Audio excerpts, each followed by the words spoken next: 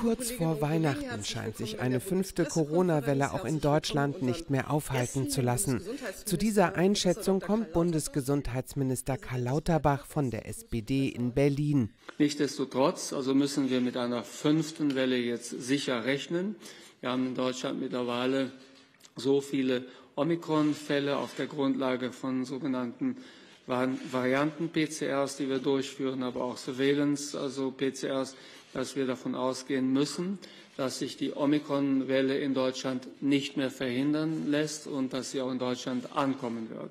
Das wichtigste Instrument im Kampf gegen diese Infektionswelle sei eine besonders offensive Booster-Impfkampagne, fügt Lauterbach hinzu. Unser wichtigster Baustein, unser wichtigster Bestandteil der Bekämpfung der vor uns liegenden Omikron-Welle liegt darin, dass wir eine besonders offensive Booster-Kampagne fahren. Wie Sie sich erinnern, habe ich das schon vorgetragen in meiner ersten Bundestagsrede zum Thema.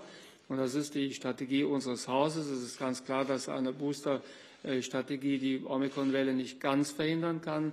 Aber sie ist das Wichtigste, was man tun kann, um zu verhindern, dass sehr viele Menschen schwer erkranken. Anders als bei der Zweitimpfung setzt die Schutzwirkung nach der Boosterimpfung den Studien zufolge bereits nach einer Woche ein.